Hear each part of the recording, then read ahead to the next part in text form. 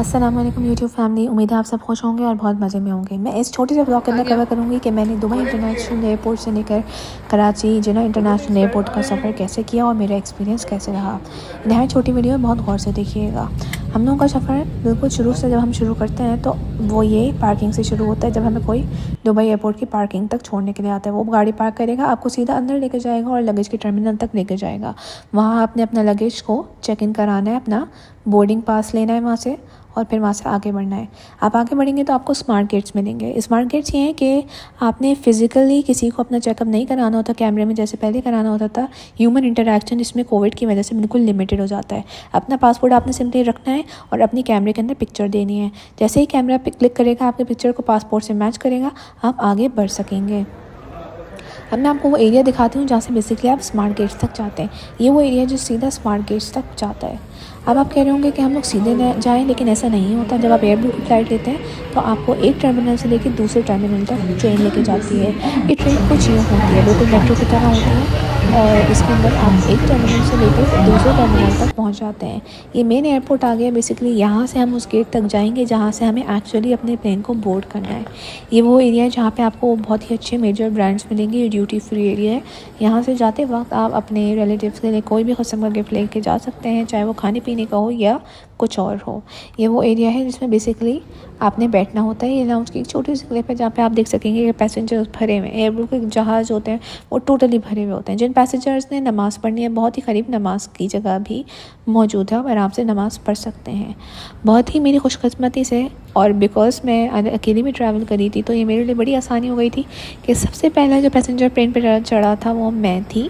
इसकी वजह से मुझे ना किसी से टकराना पड़ा, ना ही मुझे अपने बैग की पर्दा पड़ करनी पड़ी, कुछ नहीं करना पड़ा।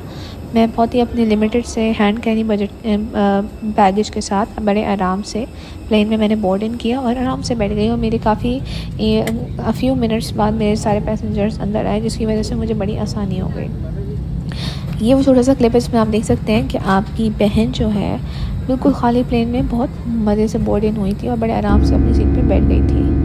अब आप देख सकते हैं कि ये है दुबई का रात का एरिया व्यू इस वक्त मुझे वो याद आ रहा था कि जिस वक्त मैं यहाँ पे आ रही थी एमिरेट से, मैं उस वक्त दुबई की रेजिडेंट नहीं थी। मैं एमिरेट से इंटरनेशनल एयरलाइन से ऑलमोस्ट सिक्स मंथ्स पहले आई थी। अब सिक्स मंथ्स बाद मैं पाकिस्तान विज़िट कर रही हूँ।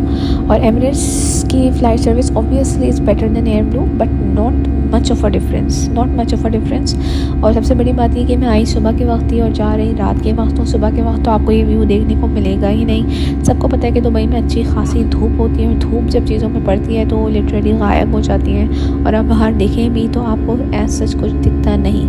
तो ये फ़र्स्ट टाइम है जो दुबई को मैं बहुत ही क्लियरली और बहुत ही अच्छे से एरियर व्यू के अंदर देख रही थी और बहुत ही स्मूथ जर्नी रही जाते हुए स्पेशली बहुत ही स्मूथ जर्नी रही। ना ही कोई एडवर्स वेदर कंडीशंस थे, ना ही प्लेन के अंदर को, ने कोई झटके लिए, ना ही मुझे अपनी ज़िंदगी की फ़िक्र हुई।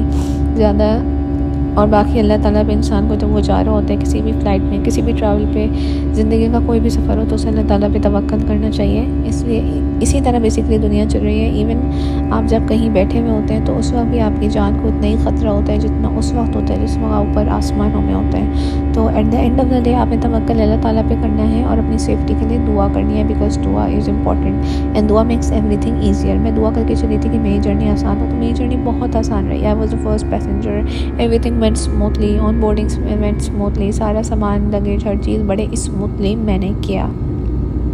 अब ये देख सकते हैं बड़ी खूबसूरत शहर है। ये अंदर से, ये जितना नीचे से खूबसूरत है, उससे ज़्यादा ये कहीं ऊपर से खूबसूरत है। मैं चाह रही थी मैं बुर्ज खलीफा कैप्चर कर पाऊँ, लेकिन अनफॉर्चुनेटली मुझे बुर्ज खलीफा कहीं नहीं दिखा। लेकिन ये शहर, आप देख सकते हैं, नहायत प्यारा है। ऊपर से, अंदर से, हर तरीके से ये नहायत प्यारा शहर है। एंड जिस वक्त मैं जा रही थी, उस वक्त मैं बहुत उदास सी ये मैं जा रही हूँ। खुश भी थी कि मैं अपनी फैमिली से मिलने जा रही हूँ और ये एंटिसिपेशन भी थी कि अब मैं जल्दी वापस भी आ जाऊँगी।